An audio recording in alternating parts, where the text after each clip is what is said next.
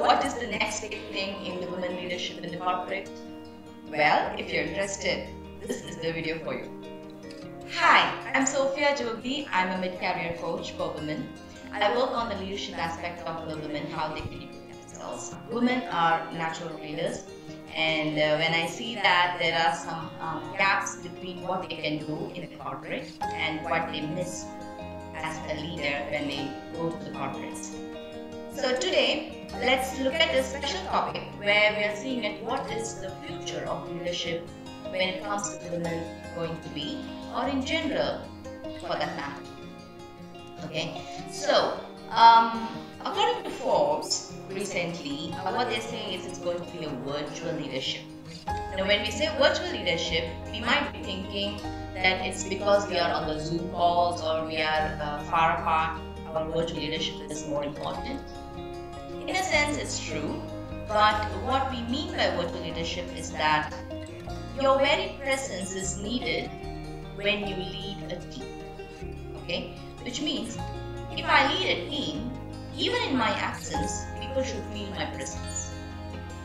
Which means you have to be influential in such a way that everything that you say just stays with them like they really follow you.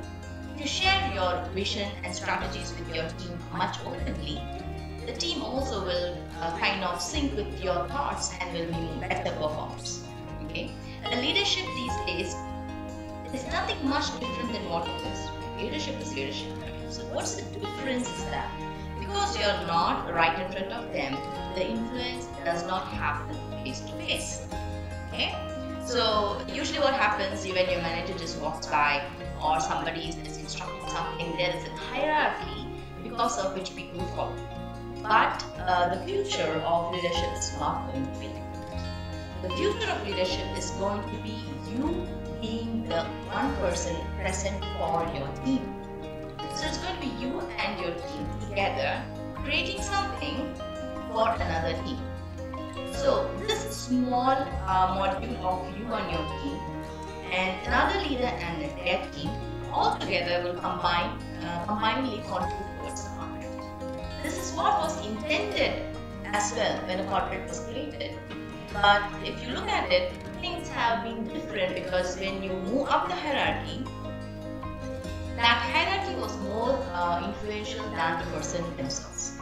But going forward, that is not going to happen. Even if a person is getting uh, promoted, then we see a lot of friction between the managers and the team itself. Right?